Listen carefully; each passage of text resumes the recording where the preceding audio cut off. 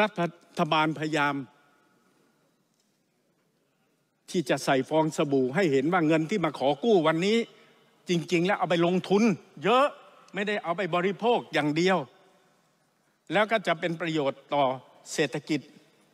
ในการพัฒนาต่อไป แต่มันหนีความจริงไม่พ้น ว่าที่แจกไปเนี่ย แจกให้ไปบริโภค ไม่งั้นจะไปกำหนดสินค้าทำไมครับว่า ซื้ออะไรได้มั่ง และนี่มันไม่ใช่บริโภคมันเรียกว่าอะไรครับ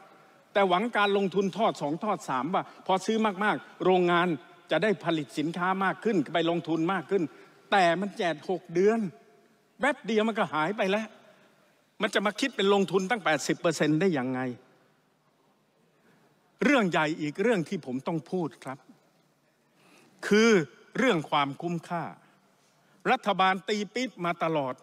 ว่าทำดิจิตอลบอลเล็ตแล้วจะทำให้เศรษฐกิจโต 5%นายกพูดเอง พูดหลายรอบครับ และจะทำให้เกิดพายุหมุนทางเศรษฐกิจครั้งใหญ่ เพราะมันจะเอาเงิน5แสนล้าน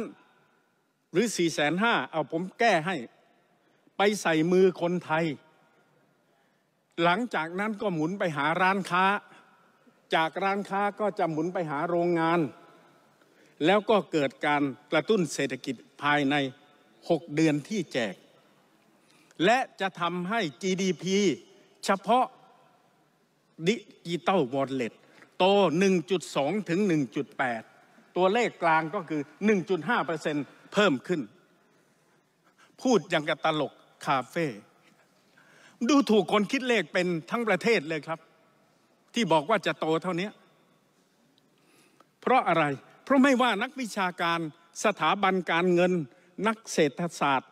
แบงค์ชาติ องค์กรอิสระ สภาพัฒน์หน่วยงานของรัฐเอง ที่เป็นหน่วยงานกลางในการกำหนดตัวเลขทางเศรษฐกิจ พูดตรงกัน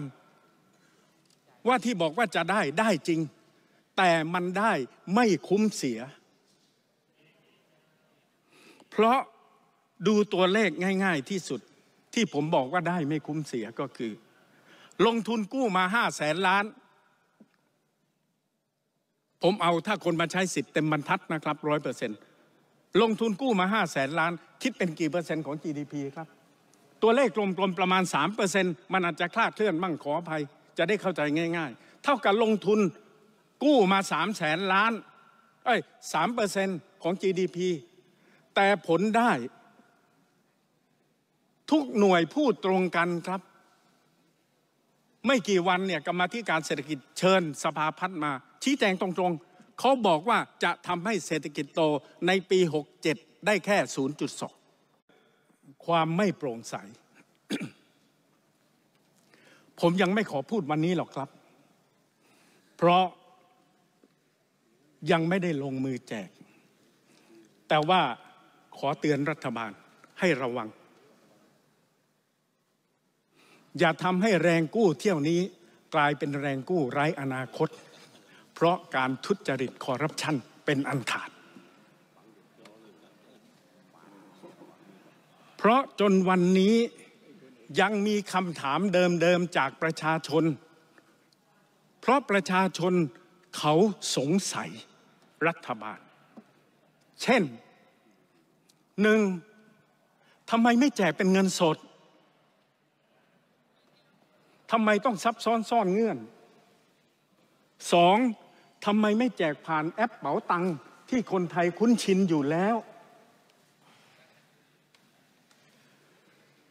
สามมีคนถามว่า แล้วทำไมต้องแจกอายุ 16 ขึ้นไป ไม่แจกตั้งอายุ 13 อายุ 13 ไม่ต้องเรียน ไม่ต้องใช้ไม่ต้องกินเหรอครับ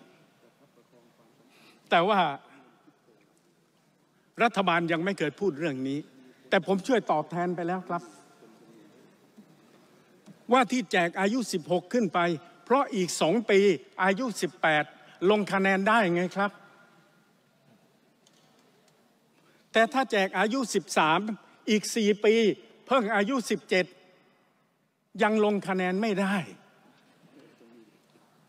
แจกไปก็เสียของ ตรงนี้จึงเป็นคำตอบ ว่าสุดท้ายแล้ว